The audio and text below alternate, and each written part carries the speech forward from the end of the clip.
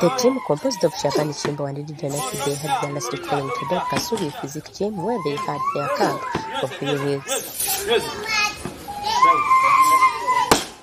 The team is to be captained by Lydia Nachide, who is currently ranked 49th on the Paris qualification list with 154 points.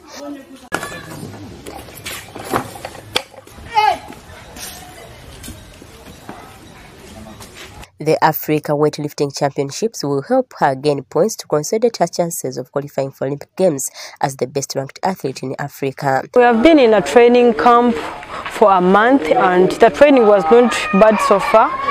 I do believe that I'm going to perform well so that I can add on my rankings in Olympics. And I believe with God's grace, uh, I will manage to go for Olympics. Yeah, I do trust my coaches, my coach Kasim. I do appreciate, plus the president, my supporters. I do appreciate them, and I believe with God's grace, I'll manage manage to go for Olympics. Nachide will be in action on 6th February in the 64 kilogram category, whereas Shaban Kimbowa will compete on 5th in 67 kilogram category.